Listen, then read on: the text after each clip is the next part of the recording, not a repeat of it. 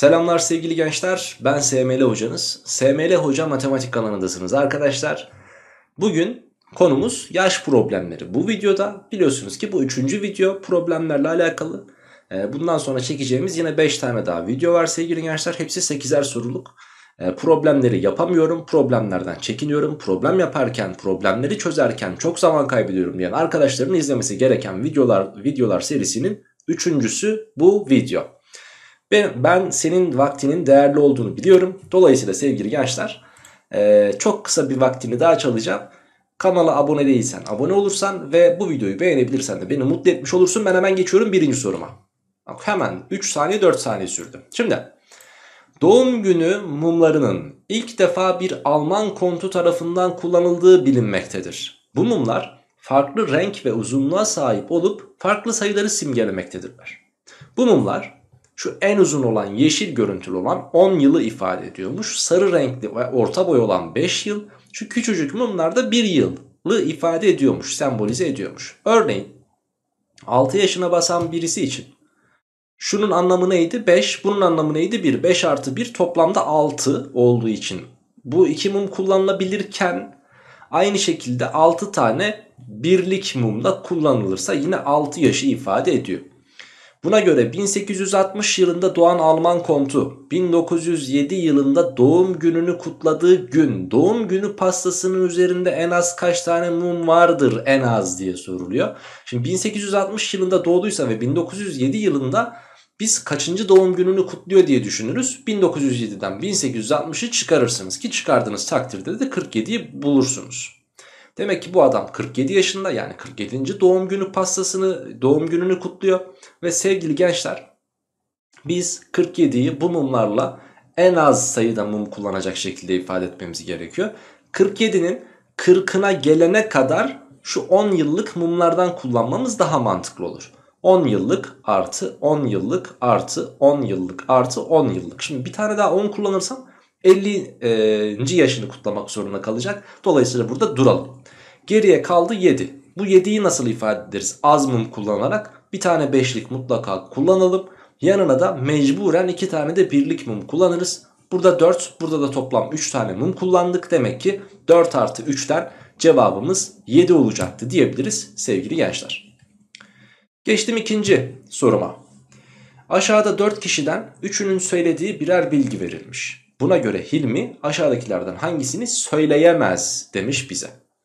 Şimdi Ali diyor ki Veli doğduğunda ben 10 yaşındaydım.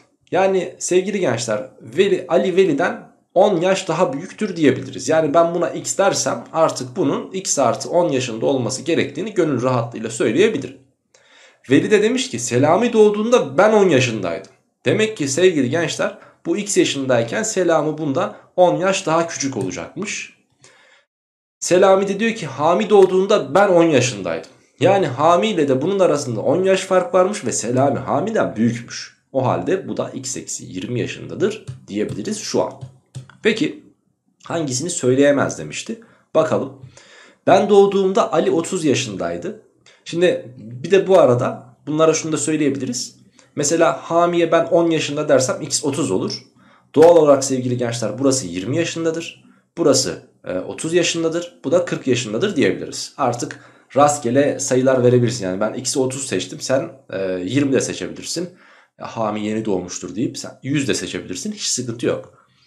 Şimdi Hami hangisini söyleyemez? Hami denilen vatandaş bu. Ben doğduğumda Ali 30 yaşındaydı. Yani aramızda 30 yaş fark var diyor. 10 ile 40 arasında 30 yaş fark vardır doğru. Ben doğduğumda Veli 20 yaşındaydı. Evet bununla bunun arasındaki yaş farkı da 20 olduğu için bunu da söyleyebilir. Selami'nin şimdiki yaşı yani 20 e, Veli ve benim şimdiki yaşımın ortalamasıdır. Veli ile Hami'nin yaşları toplamı 40. 2'ye bölersek 20. Zaten Selami'ye de 20 yaşına demiştik. Demek ki bu da doğru. Veli'nin şimdiki yaşı Ali ve benim şimdiki yaşımın ortalamasından küçüktür. Şimdi Ali ve benim demiş. Yani 40 artı 10 50. 2'ye böldüm 25. Diyor ki Veli e, pardon e, Veli'nin şimdiki yaşı aynen yani 30 25'ten daha küçüktür demiş Yalan söylemiş olmamış cevap Denizli. Edirne'de de Ali yaşça üçümüzden büyüktür. Evet Ali en yaşlı olanları sevgili gençler. Bunu da söyleyebilir. Demek ki Denizli seçeneğindeki söylemi söyleyemez e, hami denilen vatandaş. Geçtim üçüncü soruma. Diyor ki aşağıda Alper ve Altan'ın 2004 ve 2020 yıllarına ait yaşlarıyla ilgili olarak bir tablo verilmiştir. 2004'te Alper x yaşındaymış 2020'de y yaşında. Demek ki sevgili gençler ben şunu söyleyebilirim. X'in üzerine e, buradan geçen 16 yılı eklediğim zaman bu y'ye eşit olacak. Ve doğal olarak da y eksi x eşittir 16 diyebiliriz. Birinci öncülümüz böylelikle doğru olmuş oldu. a eşittir 3x'tir denilmiş. Bakalım. Şimdi burada kaç yıl geçmişti arkadaşlar? y eksi x yıl geçmişti. Yani ben 2x artı y'den bu geçen y eksi x yılı çıkarırsam şu şekilde. Bakın y'ler burada gider. Eksi eksi artı yapacaktır 3x. Ben hangi yaşı bulurum? 6'nın 2004'teki yaşını bulurum. Yani a'yı. Demek ki 3x a'ya eşittir. İkinci öncülümüz de doğru. Üçüncü öncülde de Alper Altan'dan daha büyüktür denilmiş sevgili gençler. Şimdi e, x ve y burada hani yaşıyla alakalı bir bilgi olduğu için yani negatif yaşta olamayacak Alper. Demek ki x'in ben pozitif sayı olduğunu biliyorum. E, bu zaten y de pozitif. Alper burada y yaşında aynı sene Altan 2x artı y yaşında. Yani y yaşından daha büyük bir yaşta. Dolayısıyla Alper Altan'dan daha küçüktür. Büyük değildir. O halde cevabımız Bursa seçeneğinde verilmiştir deriz sevgili arkadaşlarım. Geçtim dördüncü soruma. Cem ile Eda'nın doğum günlerini kutlamak için iki katlı iki pasta yaptırılmış. İki katlı iki tane pastamız var. Birisi Cem'in öteki de Eda'nın doğum günü pastası. Her kattaki farklı renkteki pastalar bir sayısal değere karşılık gelmekte. Ve pastaların üzerine konulan mum sayıları bu sayıların toplamına eklenerek kişinin yaşı bulunur. Pekala. Mavi pastaya karşılık gelen sayısal değer sarı pastaya karşılık gelen değerden 10 fazladır. Yani sevgili gençler burası x yaşı ifade ediyorsa burası x artı 10 yaşı ifade ediyordur diyebiliriz. Pekala. Cem'in Eda'dan yaşça büyük olduğu bilindiğine göre yaşları farkı kaçtır? Şimdi ben burada yeşil pastaların ikisinde de olduğunu görüyorum. Yeşil pastanın kaç yaşa tekabül ettiğini bilmiyoruz. Dolayısıyla yeşillere ben e, y kadar bir sayısal değer ifade edeyim. Bakın burada bir tane mum var. Burada da 3 tane mum var. Şimdi Cem kaç yaşında? Cem x artı 10 artı y artı 1 yaşındayken bu Cem'in yaşı. Eda'nın yaşı da x artı y artı 3'tür sevgili gençler. Bu da Eda. Şimdi Cem Eda'dan büyükmüş ama kaç yaş büyüktür diyor. Yaş farkını sormuş. Çıkaracağız tabii ki. X'ler gitti. E, y'ler de gitti. 10'la 1'i topladım. 11'den 3'ü çıkar demiş bize. Çıkarırsak ne kalır? 8. Demek ki aralarında 8 yaş varmış diyebiliriz. Dolayısıyla cevabımız da Denizli seçeneği olur sevgili arkadaşlarım. Yaş problemleri konumuzun 5. örneğine bakıyoruz. Bir annenin yaşı iki çocuğundan büyük olanının bugünkü yaşının iki katına. Şimdi bir anne var. İki çocuğundan büyük olanının anne, büyük çocuk ve küçük çocuk diyelim. Büyük olanının yaşına B dersek sevgili gençler bunun iki katına eşitmiş. 2B. Küçük olanın bugünkü yaşının 3 katından 4 fazlasına eşittir. Hmm. O zaman şöyle diyelim mi? Şöyle diyelim mi? 3 katından 4 fazlası. Pekala. Sevgili gençler ben küçük olanın yaşına x dersem annenin e, yaşı küçük olanın yaşının 3 katından 4 fazlasıydı. E, büyük çocuğunun da 2 katı olduğuna göre demek ki büyük çocuk 3x artı 4 bölü 2 yaşındadır da diyebiliriz o halde. Doğru mu? Doğru. Çünkü bunu 2 ile çarparsam bunu verir. Bunun da 3 katının 4 fazlası budur. Büyük çocuğun yaşı A bize vermiş hepsini. Biz de boşuna uğraştık. Neyse x gördüğümüz yere şöyle yapalım. Neyse şunları bir silelim. Biz ona göre hareket edelim arkadaşlar. Bakın büyük olanın yaşı A'ymış. Küçük olanın yaşı da B'ymiş. Tamam. Ee, anne büyük çocuğun 2 katıydı. Küçük çocuğun da 3 katından 2, 4 fazlaydı. Demek ki bunlar da birbirine eşit olacak haliyle. Pekala. Şimdi diyor ki bir, e, şu ifadeler var. Annenin yaşını bulabilmek için bu ifadelerden hangilerinin tek başına bilinmesi yeterlidir diye soruluyor bize. Şimdi ben sevgili gençler e, burada a eksi b'yi bilsem bakın benim elimde 2a eksi 3b eşittir 4 diye bir olay var. Ve ben a eksi b'yi eğer biliyorsam biliyorsam A'yı da B'yi de bu iki bilinmeyenli iki tane denklem sisteminden çözerim. Dolayısıyla A eksi B'yi bilmek annenin yaşını bize verir.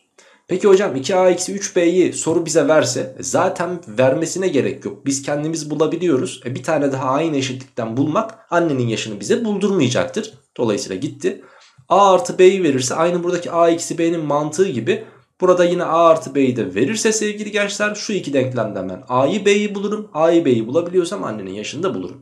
Dolayısıyla üçüncü öncülümüz de yeterlidir. Yani cevap 1-3'tür diyebiliriz sevgili gençler.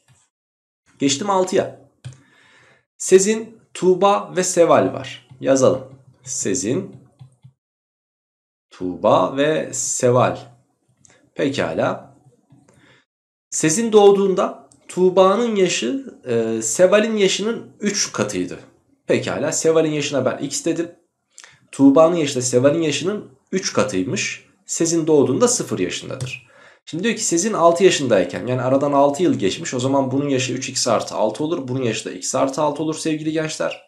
Tuğba'nın yaşı Sezin ile Seval'in yaşları toplamının 2 katıdır. Yani 6 ile x artı 6'nın toplamı olan x artı 12'nin 2 katı Tuğba'nın o anki yaşına eşitmiş sevgili gençler.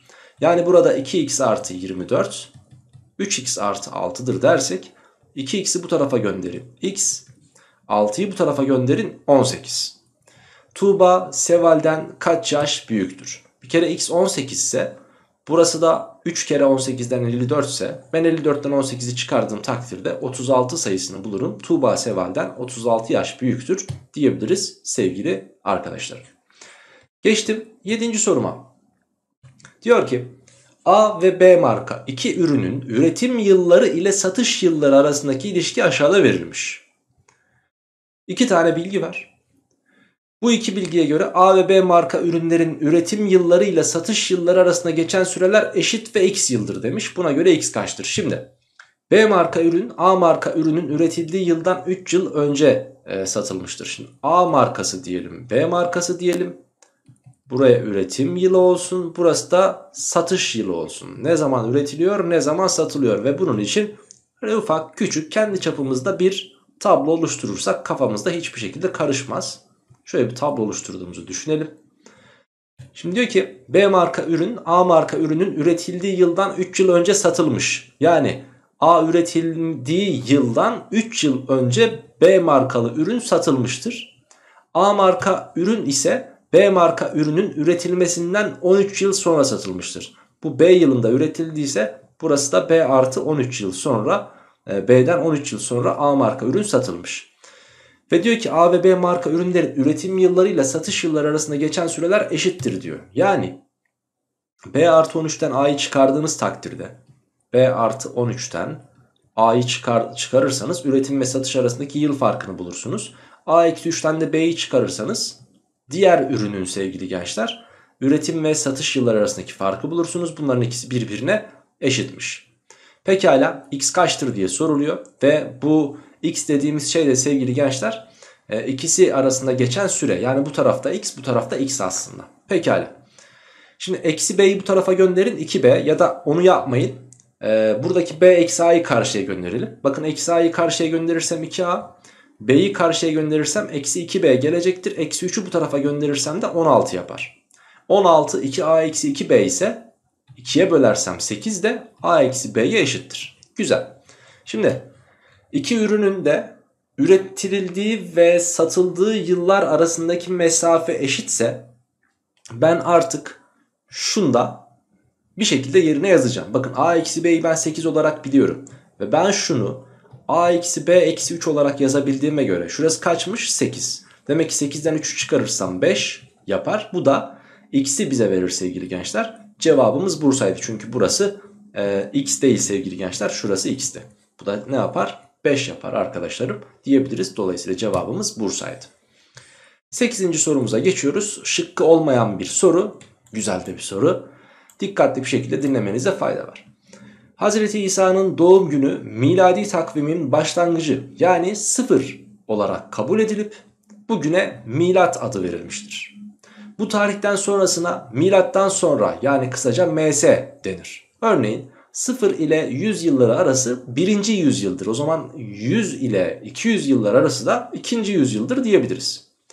Herhangi bir yüzyılda AB'den farklı olmak üzere ABBA biçimindeki 4 basamaklı yıla doğuş yılı denir. 19. yüzyıldaki doğuş yılında doğan bir kişi 57 yaşında ölmüştür. Buna göre bu kişi kaç yılında ölmüştür diye soruluyor. Şimdi AB'den farklı olmak üzere ABBA biçiminde ki 4 basamaklı sayıya biz doğuş yılı diyoruz ve herhangi bir yüzyılda olacak sevgili gençler. Şimdi 19. yüzyıldaki sayılarımız ya da e, yıllarımız her zaman 1800'de başlar. E, ABBA biçiminde ise 1881 yılında doğmuştur diyebiliriz o halde bu kişiye. Doğru mu?